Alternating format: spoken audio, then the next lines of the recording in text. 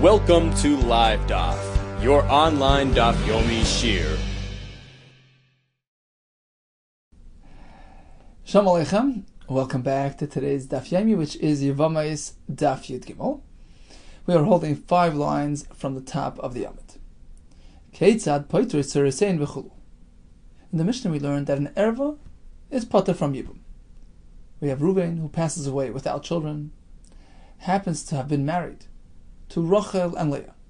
Rachel was Shimon, the surviving brother's relative, his daughter, his mother-in-law. She will not be eligible for Yibum with Shimon, because if she was simply his brother's wife, then she's a Yavama. There's Yibum. But if in addition to that, she's also a different type of Arab, his daughter, Shimon's mother-in-law. Yibum doesn't apply by Arayas. Not only that, just as the Erva is potter from Yibum, it carries over, it affects the Tzora as well. So Reuven was married to Rachel and Leah, just as Rachel is potter from Yibum. Leah, the Tzora, the other wife, is also potter from Yibum. She's a Tzoras Erva. Because she was present together with the Erva in a Yibum situation. So it's all or nothing if pot, if one element in that household is exempt from Yibum, it affects everybody else. Not only that, says the Mishnah. Just as it's Tzoras Erev is Asr, Tzoras Tzoras Erev Asr, which means that if this Tzoras Erev, Leah, marries another brother, and that other brother happens to have another wife at the same time, and then that brother happens to pass away, and Shimon is back, back uh, on the Yavam stand, he's the potential Yavam, just as the Tsaras Erva, Leah, who is a Tsaras Erva to Shimon, is exempt from Yibam, the other wife as well becomes exempt. So the Tsaras Erva affects her Tzara, and that Tzara will affect her Tzara, and so on and so forth. How do we know this concept? How do we know it extends all the way to the Tsaras Tzara? Minan Emili. Omar Vida Damakro, the Pasuk says, Litzrar. Instead of just saying Lotzar, that the Tsaras Erva is Asr, Litzrar that extra uh, vav reish tells us that there are multiple manifestations to tzaras erva. Torah ribsa tzaris harbe. Torah added many types of many variations of tzaris. So the erva affects her tzara, who goes ahead and affects her tzara, so on and so forth. Rav Ashi Amar, svarahi, without a pasuk, we could just figure it out on our own. It's a svara, plain logic. Why? Tzara, my time asira. Why is the initial tzaras erva asr? Makim erva kaima, because she was present together with the erva in a yibum circumstance. So now she herself is relabeled as an erva. It sort of carries over. The erva status carries over to the tzara. She's not considered an erva on her own. Tzara tzara nami. So when she turns around and marries another brother and there's another wife there, who's the tzaras tzaras erva, nami b'mokim erva kaima. That tzaras tzara is in the company of an erva, because I've just said, the tzaras erva becomes an erva. So there's no difference between tzaras erva, who's affected by the erva, and the tzaras tzara, who's affected by the tzaras erva, who herself is already an erva. So the two answers to the question: How do we know what tzaras tzara is asur? Either from a pasuk, or it's a svara. No, the Achronim explain that apparently Rabbi Yehuda and Rabbi Ashi have different approaches to the to the halacha of tzara tzara, different perspectives on how to understand it. Rabbi Yehuda held that the reason why it's tzaras erva is pot is because the erva affects her. It spills over. It, it, it, it's a it's a ptur. The erva affects her tzara. How do we know that tzara can do the same to her tzara? We need a pasuk. Rav Ashi, on the other hand, learns it's a svara. He learns that the the uh, concept of erva spills over into the tzara. The tzara becomes like her own erva right now. She has uh, she's internally identified as an erva, and therefore, when she's present with another tzara, well, that tzara is now a tzara erva. It's not an external factor; it's an internal factor. So she's like a regular erva the Tzara Sarah is considered like an Erva. So now when the Tzara Sarah is in her presence, She's like she's just like in the presence of an erva, and so on and so forth down the line. It just keeps on going. Mishnah says that if Reuven was married to Shimon's daughter, Rachel, it affects the other tzara as well, affects the other wife Leah. But that's only if the erva was around, was present, was alive, was still married to to Reuven when he passed away. In which case she joined the tzara in the yibum circum, the yibum situation. But if she left the scene beforehand, the erva passed away before the husband passed away. In which case, at the time of yibum, she wasn't there. She wasn't a potential candidate for yibum, or if she was divorced, she wasn't around, and she won't affect the tzara. Because the determining factor is point of Yibum. That's the determinant. She wasn't there, and the uh, other fellow, the other woman, is not a tzaras erva. Do you mean to say, even if Ruvain was married to the, the Erva, married to Rachel, who was Shimon's daughter, and then Kanas, he married Leah, second wife. So actually, Rachel and Leah were um, in the presence of each other, part of the same household, during Reuven's lifetime. Then he sends away Rachel. He's Megarish, he divorces the Arab. Which brings us to the point of Yibam, meaning at the time of Reuven's death, only Leah was around. Erva wasn't here. That's okay. Leah doesn't identify herself as a Tsaras Erva because the Erva was long gone before before Reuven passes away.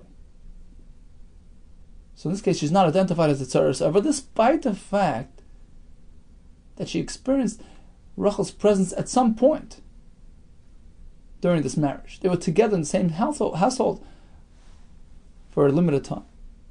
That doesn't affect her in any way. Because she wasn't together with her during the point of Yibam, when Reuben passes away. Is that so? Raminu have a kasha from another Mishnah which indicates otherwise, that as long as the tzara was in the company of an erva any any time throughout their husband's lifetime, they are affected by each other, even if they were not there together. B'shas yibam. Gimel Achim. You have three brothers: Reuven, Shimon, and Levi. Shnai men, both two brothers, two of the three, Reuven and Shimon, Nesuim bezachayis, happen to be married to two sisters, Reuven to Rachel, Shimon to Levi. Ve'echad Nasir Nachris. Third brother Levi is married to a a non-relative of these two sisters, married to uh, Bilha. Girish echad mibal achoyis. As Ishtoi, Reuven divorces Rachel. Umeis hanosi nachris. Levi was married to Bilha, passes away. His wife Bilha is now a Yavama. And who was miyabim her? Vikonsa hamegarish. Reuven, the one who sent away Rachel, now takes over Bilha. He does Ibam to Bilha. So Bilha never saw, never experienced Rachel, was never together with Rachel in the same household. Rachel was long gone by the time Bilha showed up and came onto the scene. Umeis, and Reuben passes away. Is Bilha considered an erva to Shimon? Not at all. Is she considered a tsaris erva to Shimon? Not at all. Even though Reuben happened to have been married to Shimon's wife's sister previously, but he sent her away. She was not there b'shas yibam. Bilha, the new wife, Reuben's new wife, never saw Rachel. She was never with her in the same household. So the concept Megar Shomeis. Reuben married Bilha and then he passes away. Zohi Shamru. She Meson is Garshu. Here we apply the concept that if the Erva passes away or she's divorced, Tzara is saying Mutaris their fellow wives are mut. The second wife is mut. The competing wife is mut. Because in this case, she never was present with her in the same household. She was long gone by the time Bilha arrived. That's the Mishnah. Let's make a deal. Only in this case does it work. Because she never saw her. Reuben got rid of Rachel before, way before Bilha showed up. They were never together in the same household. Taima de Girish. It only works because Ruvain divorced Rachel and then married Bilha. So Rachel and Bilhah were never together in the same household at all. But perhaps if Reuven had married Bilhah, added her to the family, and then divorced Rachel, it wouldn't work because at one at one point they were together in the same household. Despite the fact that they weren't together during the time of Yibam, Rachel was long gone before Reuben passed away, but they were together in the same in the same marriage. They affect each other. Bilhah is considered a tsaras erva. And this is very much in contrast with our Mishnah, which teaches us otherwise. Unless they were together during the point of Yibam, they don't affect each other. Which way is it? Amar Tavra. You have to break up the Mishnahs. Two different opinions. It's a machlaikis.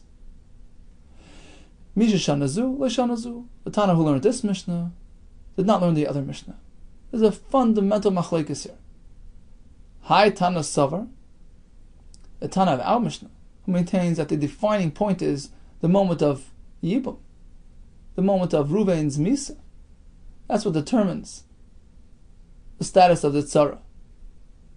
He holds Hi Tana Savar Misa Mapelas. What activates the Yibum process? Ruvain's death. That's the defining moment. So unless the Erva was present at that moment, she's not reckoned with. We don't care about the fact that Rachel and Leah, well, in this case, Rachel and Bilhah were together in the same marriage, in the same household. That's long gone. Old news. As long as they weren't together in a Yibum capacity. Tana Savar, whereas the other Tana holds, no. If at any point in time during this marriage we had the Erva with this Isha together, it affects the Tzara, makes our Tzara's Erva. Despite the fact that the Erva was no longer here, when her, their husband passed away in a yibum setting. Doesn't matter. Why? The initial marriage is what activates the subsequent yibum process later. Basically, what it means to say is that the the yavam sort of overtake takes over, continues the departed brother's marriage. So the initial nasuin is what determines the halacha. And if any time throughout that marriage Rachel was present. Rachel the Erva was here. It affects anybody around her. All the other wives are considered Tsaras Erva, despite the fact that Rachel left the scene before their husband died. She didn't take part in the Yibum process. Doesn't matter. Rava Amar Lo'ilim Chatanahu. Both Mishnahs reflect the same shita, authored by the same Tana. Yibum is what determines. Vizoi, and the Mishnah over here in that base, tells it to us in a, in a, uh, a grand way, a big chiddush. Even if the erva was here sometime throughout the marriage, it doesn't matter. As long as they, they were not together when the husband passed away, in a yibum setting. So that concept is reflected in our Mishnah. And then the Mishnah later says, look, and certainly in the other case, when she never even saw her, uh, the, the ever was gone, was divorced before the other woman came by. You don't even have to say that. That's, that's obvious. There's a formula like that in, in Mishnayos. First we say the real you should know this is the real Chiddush. And certainly in that case. So according to Rava, all agree to this concept. Tzara Sefer is a Yibum concept. If the Ever was together with this Isha at the time of Yibum, in a Yibum setting, in a Yibum household, it affects the Ever, affects the Tzara. But if she was gone, she left the scene prior to Reuven's passing, doesn't affect the tzara. And the tzara is eligible for Yibum with the other brother. The Mishnah spoke about Iktana. Iktana does not have Kiddushin in You can't marry Iktana Minat Torah. Chacham will masakan for the benefit of all that the Iktana can be married off by a family, mother, the brother can marry her off. It's a kedushin midraban, but miun can cancel, can delete that kedushin. She turns she turns her back on her husband. She rejects her husband. She walks away from him. What happens in the case of Yibam, where Reuben, Reuben and Shimon, Rav Reuben, who passed away without children, he was married to Rachel and Leah. Rachel happened to be the surviving brother's uh, relative, daughter. mother-in-law. Rachel was uh, a ktana, not a mother-in-law, a daughter, a sister, and she was a ktana. Will she affect the other wife? Leah, the tzara of this erva, is, is she potter as well? The Mishnah says, not really, because Rachel's marriage wasn't really a bona fide marriage. She wasn't really Reuben's wife, Minater, so how could she exempt the other woman from Yibum? How could she affect the din Tur? So whoever has the ability to be Mamayan, it's another way of saying Aktana was married to the brother, and she actually stuck it out. She didn't walk off on him. But since her marriage is only a partial marriage, an incomplete marriage, you can't say, well, the competing wife, the tzara, is affected by her. She's pata because she's a tzara's erva. What then do we do? We do chalitza. Strike a compromise. Shimon is not going to be miyabim, the other wife, but chalitza will do. Says the what's the dilemma? What's the problem here? Easy solution. Let's do me right now. And undo, usurp, uproot the entire marriage with hashtav this yabim. Let Rachel, the Ktana, the erva to Shimon, walk over to Shimon the Yab and say, look, I'm not interested in the, I'm not interested in this whole business. I never really want and she'll undo the entire marriage. It's as though she was never married to Reuben in the first place. She was never his wife. She's certainly not a contender for Yibum. She's off the scene. It's a retroactive, has a retroactive effect. So now the other wife is free to be Misyabim. She's not affected by any erba who left the scene retroactively. Why can't you do that? Oh, Leima Messiah, perhaps it's the right Rabbi Yisha. Don't Yisha. There's machlekes later on Yivamis, whether you can do Yibum after death, whether you can do Mion in the presence of a Yavam. She can walk away from her husband. She can reject him. But once he passes away and she's up to the point of Yibum, is it too late? Beis Shammai say yeah. Beis Hillel say no. You can still do Yibum. You can still do Mion now. Rav Aisha explained as follows. Even according to Beis Hillel, it's a limited Mion you can't undo the entire zika. Zika is the term used for uh, that obligation, that commitment to yibum, that potential yibum. You can't undo yibum candidacy. You can't do that. What then is the miun going to do? So if the yavam did ma'amar, which is sort of a kedushin to the yavama, gave her money as a kedushin. Typically, a get is required to undo that. But if the Tana so chooses to be Mamai and say, look, I'm not interested in your Ma'amar, it can undo that. So it can save her from a get, but she can't undo the Zika. She can't remove her potential Yibum candidacy. She can't say, well, I'm not interested in Yibum, and I don't want to uproot the entire marriage with my former husband, the one who passed away. She can't do that, it's too late for that. It would seem that our, our Mishnah supports that view. Otherwise, why can't our Ktana just walk over to the Yavam and say, look, I'm not interested, and undo everything? And become a non factor, a non player in the equation. Says the Gemara, no, over here it's a din Look, tzaras erva shani. Here we're dealing with tzaras erva. The question is whether Rachel the Ktana affects the other women. Do we consider the other woman a tzaras erva? Here it's different. Chacham wa machmer. Rashi says, Rabbanon gozru. Shaloi teman she shouldn't do yibum to enable yibum the yibum itzarasa to enable yibum by the tzara. Why? The loy lizil zuli b'tzaras erva dilma asri limishrei. You don't want to take things lightly. Start reinventing the wheel. Start moving around the, um, re, re uh, forming the equation after death. Doesn't uh, doesn't doesn't sound too good and create a, a also People will take the Indian of tzaras erva lightly. In other words, even though technically, strictly halachically speaking, the Ktana could just walk off and it's going to be effective retroactively, in which case she was never a player on the scene. Ever was never here. She was a Ktana, was never married to him.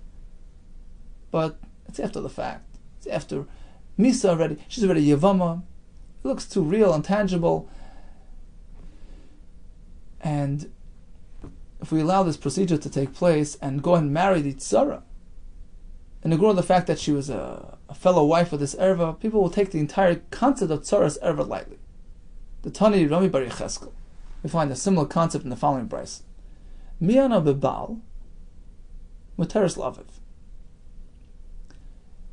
So the Ktana was Memayin in her husband. She walked off her husband. She rejected her husband. So she could marry her husband's father. Reuven, the father of Shimon, who she rejected. Because one may marry a woman who was involved with his son as long as she wasn't really his wife. In this case, she wasn't really his wife retroactively. She's not considered Reuven's daughter-in-law. But Miyana biyabam. But suppose Shimon the son passed away and now Levi's the Yavam. She walks off on the Yavam. I'm not interested. Asur love. She may not marry Reuven, who was Shimon's father. Why? What's the difference? Answer is Alma apparently Mishas Nefila. Once there's a Nefila here, somebody passed away and there's a potential Yivam, it's too official, it's too formal. Nearest Kakalase. It, it gives it, it feels like the it looks like the marriage was a legitimate marriage, was an established marriage. Look, look what it did. It brought about Yibum. It's already at the next point. It's already at second base. To go ahead and say, oh, undo the whole thing. Nearest Kekalasi. She looks like she was married to his son Shimon, and therefore Reuben shouldn't marry her. Hachnam here as well in our sukkah. Rachel was Aktana, married to Reuben. She was Shimon's daughter. Reuben was married to Leah as well. Leah is considered a somewhat tsaras erva because she was together with Rachel in the same household. She fell together leave, and the question was, why can't Rachel just walk off, do miyut, and undo the entire system? She was never married to Rachel retroactively, to, to Reuven retroactively. Answer is, Hachanami here as well, Mishas Nefila. At the time of Nefila Leivim, nearest Bitoy, it appears like Leah is already Tzaras Bitoy. It's been established as a fact. Look, Reuven, the former husband, passed away. There, Yevama is waiting for Yibam. We have Rachel, who's the Tzara, who's the Erva, a daughter of Shimon. We have Leah, who's the Tzaras Bitoy. It's too real, it's too formal to go ahead and undo, undo it after the fact. And if we're going to be matter in this case, Asi Lemishri says Rashi, Asi Lemishri Tzaras Abbas Ba'alma. It's going to lead people to take things lightly, perhaps lead them to be matter at Tzaras Abbas, uh, a conventional Tzaras Abbas.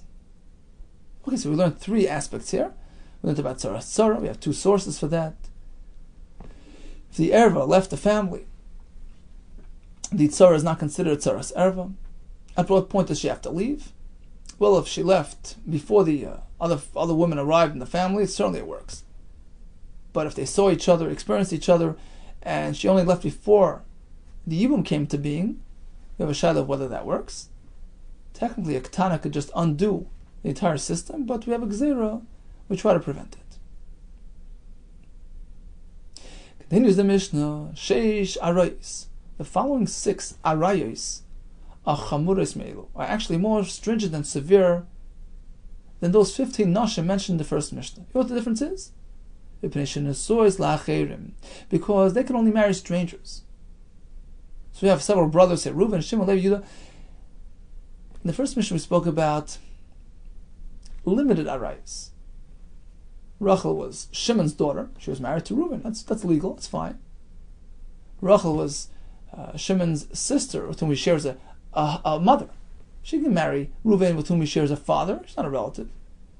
The following six are more severe. These arayas are usher to all brothers equally. So it's impossible for them to marry Reuven and be usher on Shimon. If she's usher on Shimon, she's usher on Reuven. They, only, they only marry strangers out of this family. And therefore, Tzaris and Mataris. In that case, there's no concept of Tzaras Erva, which is a Yibum concept. So, if any of these women were married to a stranger who happened to have another wife with them, that lady's not a Tzaras Erva because she didn't join that Erva in a Yibum situation. As opposed to the case we were discussing until now. Let's say Rachel's daughter married to, to Ruvain, Rachel's daughter. Shimon's daughter married to Ruvain. So although she's an Ervan Shimon, she's not an Ervan Ruvain. So in this case, Reuben passes away. Rachel is a potential Yibum candidate. So not only is she potter, but it's Sarah. The other, the other woman that was married to Reuben is considered Sarah's Erva because she was together with her in a Yibum situation. This doesn't apply in these in these six arayas who never encounter a Yibum situation. Which which ones are we speaking about? Imai, his mother. It's just of his mother's his father's wife. So all these women are asa to all brothers equally. Achais Aviv, sister of his wife. Achais Aviv, his sister with whom he shares a father. So again, that's uh, it's an Isser, it's universal. All the brothers cannot marry her. So you realize all these are father-related Isurim, father-related relationships. Achais Aviv, his father's sister. Achais Aviv, his sister with whom he shares a father. Veishas Achi Aviv, the wife of his father's brother. Veishas Achav Aviv, his brother's wife with whom he shares a father. And we're speaking, of course, that she has children, so she's not eligible for Yibum. And this Isha is also to all the brothers who share a father. Until this point in the Masechta, we discussed the Isser of Tzaras Erva. It was a given, it was a fact. Tzaras Erva is Potter is Asr. But actually, it's not so simple. It's a between Yishamai and Yisrael. This concept of Tzaras Erva is a point of dispute between Beis Shammai, who are matir and not Tzaras Lach, and they say Tzaras Erva is mutter. You can't marry an Erva, even in a Yibum context, but the Tzaras Erva is mutter. She goes Yibum. Now, as a result of that machlekes, we have a question regarding chalitza. So, according to Beis Shammai, Tzaras Erva is a perfect yavama. She's meant to do yibum or chalitza. So let's say she does chalitza. We know that a chalutza, an isha who underwent a chalitza procedure, is asr lekayin. So Tzaras Erva, who was meant to have chalitza, did chalitza. She is a chalutza. Beis Shammai poislam gonna. She can't marry a kohen. But Ubeis Hillel machshir. They say she's mutter because it was a worthless procedure. She's an she's Tzaras Erva. Chalitza is not affected by Tzaras Erva. She doesn't require chalitza. So we could have just ignored the chalitza process, she's not affected. She can marry a kohen. Likewise, the Tzaras ever does yibum. Nis yabu b'shamim machshirin. She can marry a kohen. The yibum was legitimate. She did nothing wrong. She didn't marry somebody she was asked to marry. Ubeis Hillel still hold that a Tzaras Erva went through yibum was engaged in an illegitimate relationship. Asr, she can't marry a kohen after she becomes disqualified lekahuna. So basically, this is a fallout of the original machlekes of whether or not a tzaras erva is an ordinary conventional yavama. Says the Mishnah something interesting. Afapi she'elu oisrim be'elu matirin. Although Beis Hillel say tzaras erva is Basil say she's mutter. Elu poislan, elu machshirin. These hold that she's disqualified. Those hold she's not disqualified. It didn't interfere with the way Bisham and Yisilo related to each other. They intermarried. They had camaraderie and peace and love. Shammai would not hesitate, would not refrain from marrying into Beis Hillel. V'loy Beis Beis nor would Beis Hillel into Beis Shammai. Likewise, when it comes to halachas of taros and tumois, so many machlokes show you elu metar and elu metam, and these will make tar, these would hold tamei. It wouldn't get in the way of their relationship. They would trust each other. Nimnu, they wouldn't hold back from liyas oisin taharis from doing their uh, taharis things, they're cooking their foods and um, doing all their taharis. Elo gabel elu, these with those, meaning they would use the kalim of the other families to cook their food and to tend to the taharis needs. Rashi brings the Gemara because they would trust each other that they would certain, certainly notify them in advance. Look, this Kli is actually Tommy according to your opinion. This Isha is Asr according to, they would trust them, that they would notify them in advance, give them the heads up.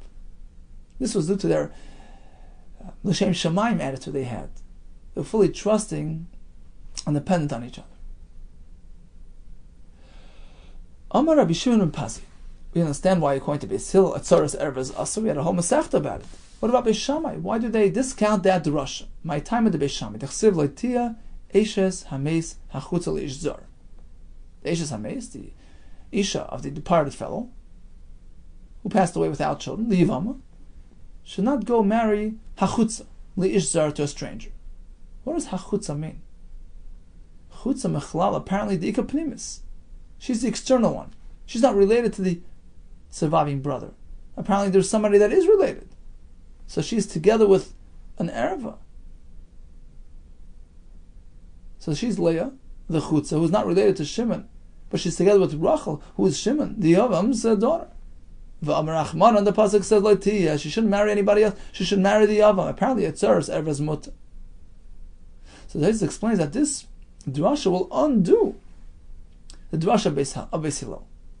Ubeis Hillel, what did they do with this pasuk? Miboilu. They needed look at Rav. Rav. Minayin shein kedushin. How do we know that?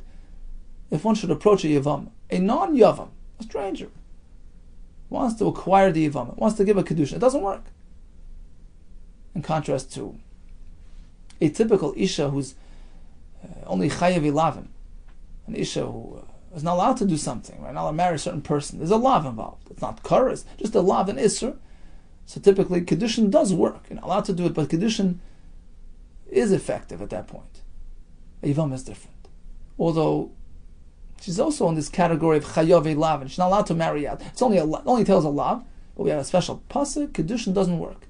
Shenamar loitia eshes hames lishzar. We learn loisiyaba havaya lazar. She can't have havaya, which is another term for kedushin. She can't unite with a zar. Ubeis Shammai. How do Ubeis Shammai know this halacha? Miksiv lachutz. Ubeis Shammai. What do Ubeis Shammai do to counter a Beis Hillel's drasha? Right? They need the pasuk to tell you a Atzeres Ever's mutter. So how do they? What do they do to respond? How do they respond to Beis Hillel? Miksiv lachutz. Does the pasuk say Lisia ish tames lachutz? She shouldn't marry out. Chutzaksiv. She's a chutza. It's almost a, a description. It's a title. She's a chutza right? So it means she's external. She's the uh, She's a non-relative. Apparently, there is a relative on the scene, an erva. Erva's butter, but she is chayiv. Ubesil. What do Beis do with the diak of Beis Shammai? The pasuk is just trying to tell you that she shouldn't marry out and she can't have kedushin to a stranger. Should have just said lachutz. Why does it say chutzah? Basil, they respond as follows. Given the chsiv chutza, the word chutza is kilman. The chsiv lechutz dami has the same meaning as lachutz. So in diktuk, they both have the same definition. The Tanya, called teva. Any word shetzricha lamed b'tchilasa, which should have a prefix of a lamed, le this, le that. Here to lahakosav he b'seifa. The Torah we find substitutes a hey at the end as a suffix for the prefix lamed. Here are some examples before we get to the examples, so Ames Hachutza really just means Lachutz. You shouldn't marry out. She should go to the Yavam, not to a stranger. So Chutza is like saying Lachutz. Vatana Dere Bishmo. Here are some examples. Could go in Elim. So they went to Elim. It says instead of Elim, it says Elima. Instead of Le Elim, Elima. Instead of Le Machanaim, it says Machanaim. Instead of Le Mitzrayim, it says Mitzrayim. Divlasayim, Yushalayim, Midbar. So Hachutza just means Lachutz. You shouldn't marry out. Kedushin isn't effective. If Yivama chooses to ignore her Yavim and marry a stranger. Ubeis Shammai, what about Beis Shammai? How are they going to learn this halacha? Rav Yudam Rav Alu. How do we know that Kedushin is not affected by Yavama? They certainly agree to that halacha. How do they know it? Milir Zar Nafka the pasuk could have skipped hachutza. Leisia ish zameis zar. She shouldn't marry out. Hachutza is another halacha to be matet tzaras. Ubesil nami. What about Isilol? Why couldn't they suffice with the word lish zar? If it's only to tell you that she shouldn't marry out. And achanam, you're right. Chutza lamali. The word chutza is coming to tell you new halacha. What's it for? L'rabis arusa, an engaged woman. So Reuven, the departed brother, was only engaged, only did kedushin on this isha, and then he passed away. Is she considered a yivama? Yes. Even an isha who's still out of the fold. She hadn't really formalized her relationship. She's just an arusa. She's also a yivama. Vidach, how do Beis know this halacha? They've already used hachutza for something else. To be matetzaras erva. It's unavailable for this. A diuk an extra hey at the beginning of that word. Mechutza, could have just said chutza, and it says hachutza to tell you this halacha as well. Arusa is included in Yibum. Vidach, what about Isil? Chutza, chutza lemashmu, they're not going to make a dig from the extra hey. In this case, they don't apply it to a drush. It's the bottom line. Is according to Shimon Pasi. The reason why Beis Shammai Yamate Tzaras Erva is based on the pasuk, which says "Loisia Eishes Hameis Hachutz Lirzar." Chutza denotes that she's external; she's not a relative to the yavam. Mechlaldika Pnimis. Apparently, these are relative on the scene, and still doesn't affect the the chutza. This other woman is unaffected; she falls liyibam. Rava Amar, I'll tell you pshat Beis Shammai. Tamayid Beis Shammai. Asvar alamdus. The ein isur chalal isur. They hold that one isur can't be applied to a pre-existing isur. Capacity is full. You can't add more isur.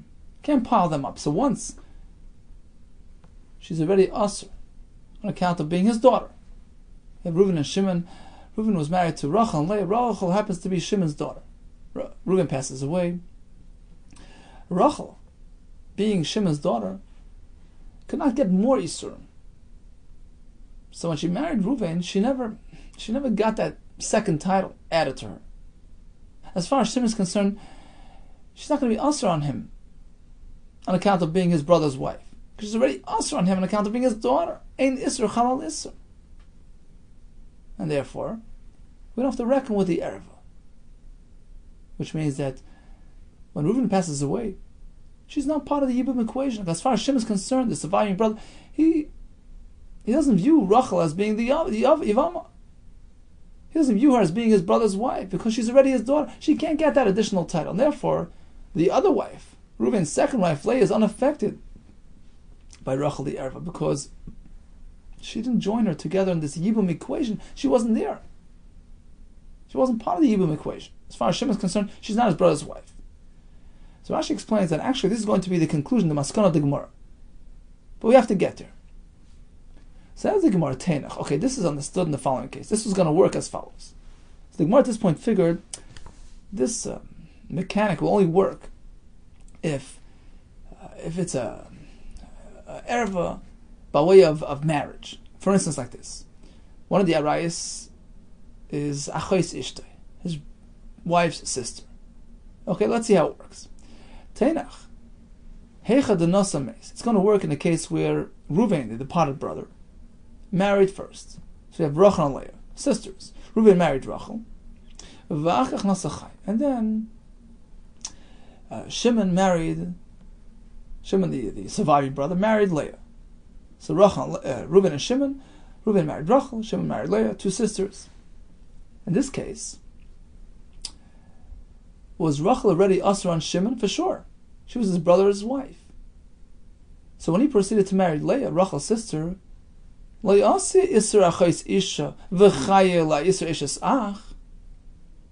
Rachel is already usher on account of being his brother's wife. She can't get that, additional isser and be considered his wife's sister. Right? Since it was a pre-existing isser, she was titled as being brother's wife. She won't get that additional isser of being his wife's sister. If so, the uh, we have the Yibum situation comes to play, Reuben passes away, leaving behind Rachel, leaving behind another wife as well. The other wife is unaffected by Rachel. Why? Because even to Shimon, Rachel is not considered his wife's sister because she's already considered his wife's his, brother's wife, which is uh, which is fine when it comes to Yibam. His brother's wife is. And therefore the Tzur is unaffected. The other wife, present in the Yibam scenario there, is not considered Tzaris Erva. Because there's no Erva. Rachel is simply Shimon's brother's wife. We don't recommend the fact that he's she's Shimon's wife's sister.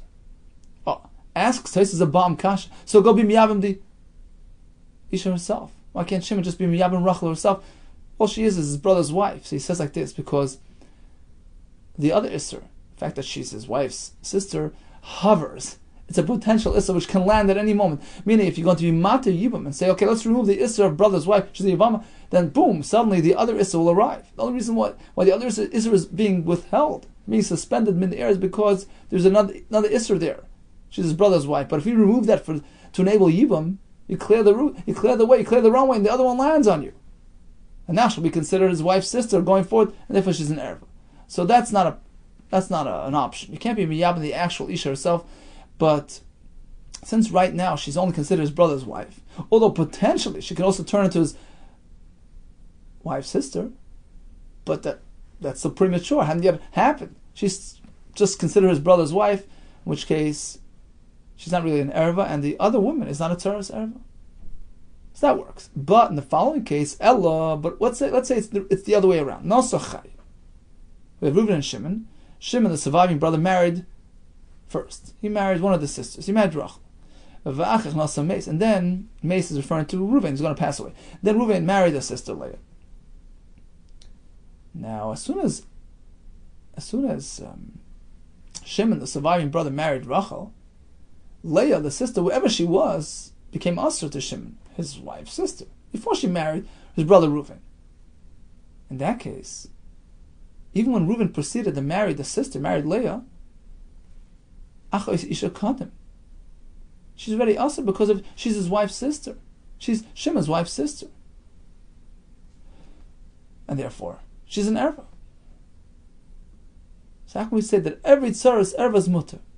It all depends on the situation. In this case, she's considered an erva. Even before she married Reuven, she was his wife's sister. She was Shimon's wife's sister before she became Shimon's brother's wife. So what are you going to do in that case? In that case, Reuven's otherwise should be us, a Tzaras Erva. Answer is, Cuban Asa. Uh, this is what we said before, the name of Rashi. No, that's not what the Gemara meant. The Gemara meant like this: Cuban Asa Isser Eshes Ach. V'chayel Ay Israchis Isha. In any case, in any Erva situation that preceded, with the, with the Issa Erva preceded her marriage to Ruvain, the uh, departed brother. Rachel was Shimon's daughter, Shimon's sister, Shimon's wife's sister. In any case, where she was an erva before she married Reuven, that's it. It fills the entire the entire capacity. It's full, full to capacity. You can't add another isser. So even when she marries Reuven, she becomes Shimon's brother's wife, it's too late. It doesn't arrive. It doesn't land. It can't be applied because we have a pre-existing isser right here. When she marries Reuven, the isser of being Shimon's brother's wife will not come, will not be applied. Can't be applied here. It won't be chayil al issa isha on the pre-existing isser. For instance, achos isha, she's his wife's sister. Havi lo tzaras erva, shaloi b'makam mitzvah v'shari. Means like this. Once we consider uh, this Isha, an erva, before she proceeded to marry Shimon's brother Reuven, she will not attain that new title of brother's wife. It can't happen. She's already usher to Shimon. She's his daughter, sister, whatever she is. She's already usher. Ein isser As far as Shimon is concerned, this Isha is not really his brother's wife, as we said earlier. She doesn't have the Issa Achoisish, uh, Eshasach. Uh, she doesn't have that title. Therefore, she's not a Yibam candidate, which is something that happens strictly by a wife, a brother's wife. She's not his brother's wife, as far as he's concerned. She's his daughter. She's his wife's sister. Whatever Erva was speaking, it doesn't matter. Ein Isser Chalal Isser. Therefore, she's not considered, she's not reckoned to be part of the Yibam arrangement. And the other wife is unaffected by her. Because remember, Tzaras Erva is strictly a Yibam concept. If the other wife joins the Erva in a Yibum situation, then she's affected. But this is not a Yibum situation because once she was an Erva before she married Reuben, she can't assume the status of brother's wife as far as Shimon is concerned. She's already else on account of something else. So she doesn't play a role in the Yibum situation. And therefore, the Tzara doesn't have to reckon with her. That's Rishama's approach to be Matit Tzara's Erva. No, so what do we still hold? Strong argument here. So the Rashba says, true, relative to Shimon, who's this woman's father, this woman's sister, she's not considered brother's wife. But relative to the other brothers, who are not related to Rachel, as far as they're concerned, she's their brother's wife. so she is a, a Yavam, a somewhat of a Yavama. Therefore, the uh, will hold. We consider her Yivama, and the other woman, the Tzara, that fell with her, we reckon them to be part of the same Yibam equation, and she's considered a Tzara Sarva. Interesting machlekas. So bottom line is, according to Beisham, a Tzara Sarva is mutter, either because of a pasuk or because of a svar. So what results from this machlekas? How to view the chalitza by tzaras erva? Is it a required procedure? Is it a legitimate procedure? Does it affect the ish? Does it qualify from kahuna or not? What about yibum? Is it acceptable or not? Choltzu, a tzaras erva does chalitza, the proper procedure. Disqualifies, it from marrying a kohen like any chalitza b'shamay poislan. B'sil, let's say it's mutter. Chalitza is worthless. Pshita, of course, isn't this a natural outcome of their machlekes? Why do you have to spell it out? The value of the chalitza depends on the legitimacy of the chalitza. And says the Gemara, Lafuke to Rabbi Yechon ben Nuri. We're coming to to undo. Rabbi Yechon ben Nuri tells us, the Amar Boyu Nasakan Lem Letzaris. Let's uh, make a compromise. Even according to Basil, let's make a takana that Letzaris ever should Sheyu Chaltzos. Let them at least have chalitza without ibum. No, Kamashmon, the mission tells us no. The Basil Machshir. There's no Chalitza at all by Tzaras Erev. Even the Rabbanon, therefore, if they go through Chalitza, there's no problem with a Kaim. We totally ignore the Chalitza process. This Yabmu, Basil Paislan, if Tzaras ever does Yibam, Basil says she becomes disqualified from a Kahuna because she's entered an illegitimate marriage. Well, isn't that obvious? It's just a direct outcome of their previous machlekes. So, why discuss this case? You're right. I did the Tana Chaltzu, Tana Namim Yisyabim. Once we spelled out the effects of Chalitza, we discussed Yibam as well. Tanan Hasan. Now we're going to discuss the concept of Loisis Goytu. There are various schools of thought in Torah, different shitas. How do we reconcile them all? We have to be careful. Not the Torah pot, the Torah Chas to create a double parallel track, to create machlekes. Tanan Hasan, we learned in the Mishnah and Megillah. Megillah Nikras, Megillah can be read on any one of these days, starting from the 11th of Adar all the way to the 15th, depending on where you live and your circumstance. Not earlier than 11, V'lo not later than the 15th.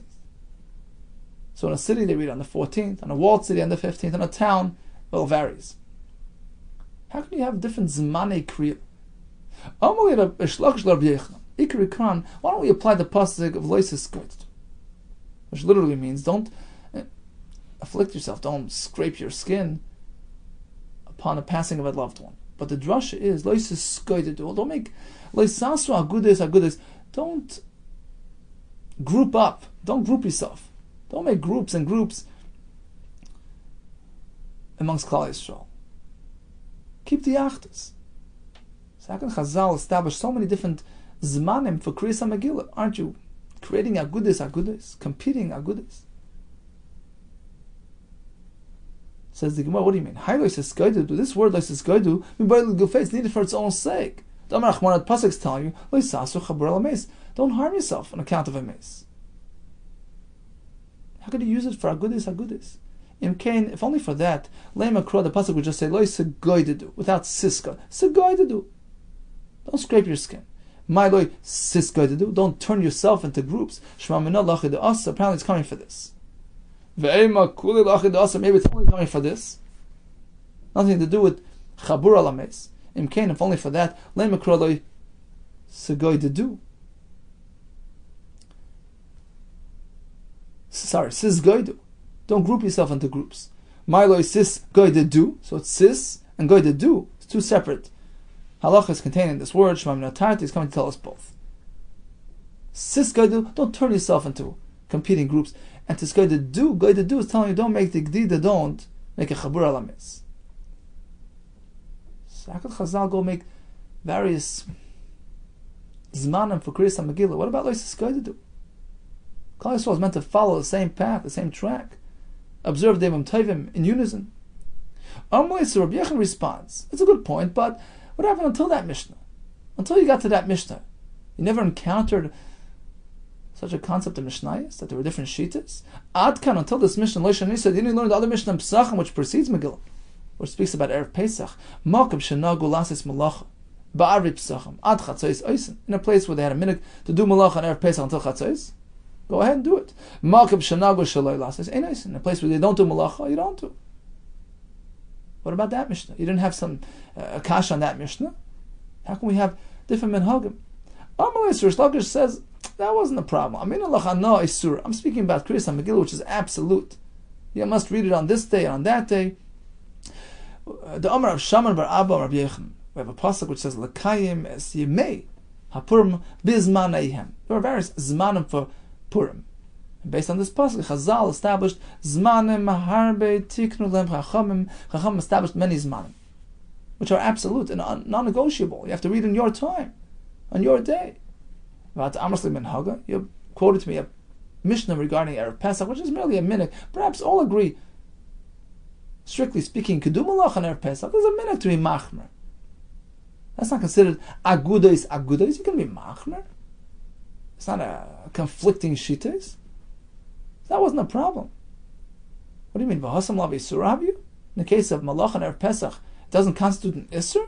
It is absolute. Vatzanan, the Mishnah says, Balai, the night of Dikas Chametz, the night before the Erev Pesach, B'shamei Eishrin, they say you can't do malacha, and they use Lashon Isser. Not just a minute, you can't. It was still matir, they allow it. So back to the question. How can we do this? Agudes, agudes. Amalei Rabbi responds, Hassam, the case of malacha, it doesn't constitute agudes, agudes, because it can, it can be interpreted in a way where it's non-conflicting. Haroy Aimar, a person who sees somebody being idle on that day, not doing malacha, will say, look, he's out of work. Malacha, the less, has nothing to do. Malacha, the lessly. It doesn't create machlikas. Continue Rabbi Yechon, what about the Mishnah Yevamis? Why don't you ask from there? Beishamim matir natzaris lachem. Beisil oisrim. Beishamim allowed the tzara to marry the brother. Beisil don't allow. So we see that you can just do what you hold. Rish Lakish responds, they didn't actually do it. Misaris, do you really think also Beishamim kedivreim? Beishamim carried out their shita? Well, yes, Beishamim kedivreim. They never actually carried it out. They disagreed in principle, but they didn't actually do it. Rabbi Yechon, apparently Rabbi Yechon held differently. Amar, Rabbi Yechon holds also vasa. They actually did carry out their, their opinion. Beis Shammai allowed the Tzoros Erba to be Misyabim, still didn't. So apparently this is not a concern about goodness or goodness. We'll continue as Hashem tomorrow. So what did we learn today? We learned the Makar for Tzora Tzora, and she's spotted from Yibim, either a Pasik or a Svara.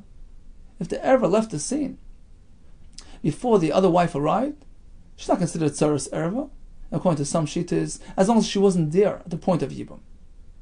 Aktana falls liyibam, and she's an erva, we don't allow her to do mion and reject, undo the entire marriage, because it can create confusion.